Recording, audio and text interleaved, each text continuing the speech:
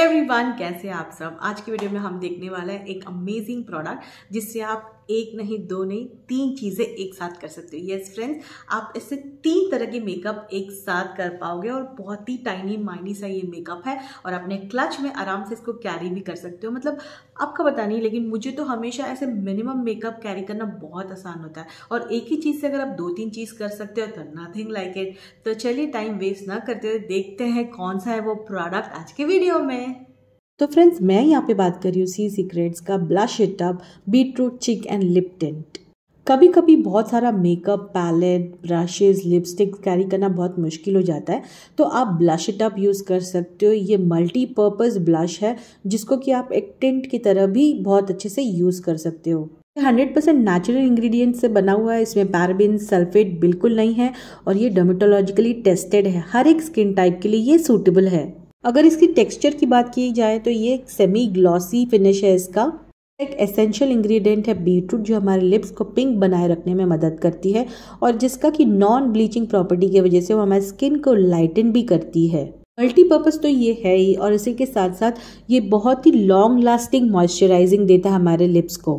अगर आप इसका एक एप्लीकेशन लगाओगे तो बहुत हल्का पिंक आएगा। तो अगर आपको बहुत ज़्यादा डार्क पिंक चाहिए तो आप दो तीन बार इसको अच्छे से अप्लाई करिए अपने लिप्स पे। बहुत ही डार्क पिंक कलर आ जाएगा आपके लिप्स पे।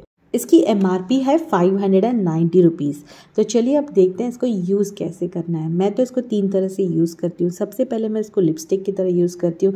सबसे अच्छा मुझे लगता है कि इसके अंदर आईना है तो लगाना बहुत ही आसान हो जाता है। तो बहुत ही थोड़ा सा आपको अपने फिंगर पे लेके इस तरह से लिप्स पे लगाना है। अगर आपको एकदम हल्का शेड चाहिए तो बहुत ही थोड़ा लगाना। अगर आपको डार्क शेड चाहिए तो बस उसी प्रोसेस को रिपीट कर देना और बहुत ही प्यारा कलर यहाँ पर आ जाएगा। अब मैं इसको यूज़ करूँगी एज अ चीक टेंट और आप देख सकते हो बहुत ही सिंपल तरीके से इस तरह से लगाना है।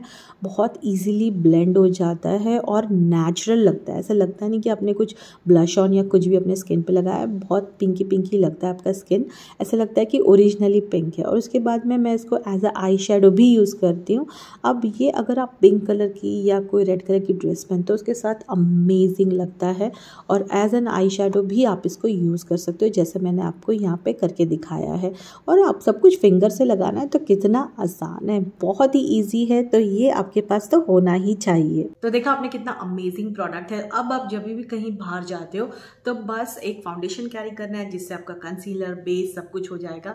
एक काजल कैरी करना है, जिससे आप लाइनर काजल दोनों ही लगा सकते हो। इनफैक्ट आईब्रोज भी कर सकते हो और ये ब्लशिट कैरी कर सकते हो। इससे आप लिपस्टिक ब्लश और आई तीनों ही लगा सकते हो। तो है ना अमेजिंग प्रोडक्ट तो आपको क्या लगता है? और आप इसको किस तरह से यूज़ करना चाहोगे? प्लीज़ मुझे बताइएगा कमेंट बॉक्स में। अगर आप खरीदना चाहते हो तो डिस्क्रिप्शन में लिंक है, वहाँ से आप इसे खरीद सकते हो। कंटेंट कैसा लगा है? प्लीज़ मुझे बताइएगा। अच्छा लगा है तो लाइक करना भूलिएगा मत। पहली बार देख रहे हो तो प्लीज़ सब्सक्राइब कर लीजिएगा। बहुत जल्द मिलती हूँ आपको एक नए वीडियो के साथ। आप सब अपना ख्याल रखिए friends take care bye bye